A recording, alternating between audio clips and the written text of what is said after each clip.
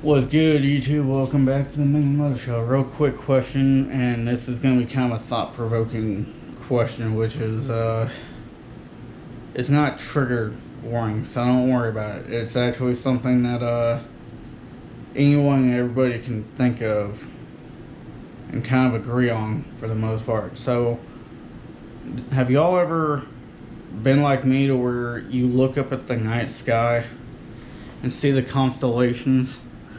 And think, yeah, that's cool. There's a Big Dipper, there's a Little Dipper, there's a Orion's Belt, there's, you know, this one, that one, this one, that one. And they ever think, okay, well, that's cool shit that, you know, we have constellations, but did you ever think of or wonder how did we ever come up with constellations?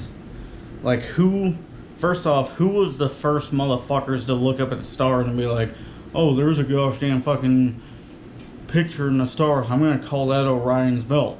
Oh, there's another picture. I'm going to call that Big Dipper, Little Dipper, this and that. And then, like, so who the fuck was a genius that did that type of shit, for one? Two, how the fuck did they even come up with the gosh damn names for this shit? And then three, why the fuck were they even making this shit up for in the first gosh damn place, right? I mean, it's cool as hell, don't get me wrong, because uh, astronomy is one of those things, no, not pastrami, I like eating pastrami, but astronomy is one of those damn things that I kind of find interesting, right? Especially when you put a little bit of pepper jack cheese on there too, right? But, uh, yeah, it's kind of like that's kind of one of those weird things that I think about all the damn time. Like,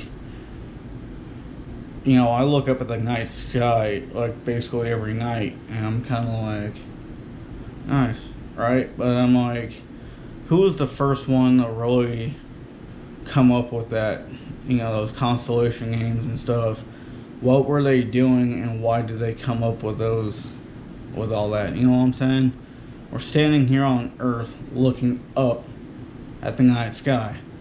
We might as well just be another gosh damn bright light in the night sky for somebody else too, right? Or at least our sun is.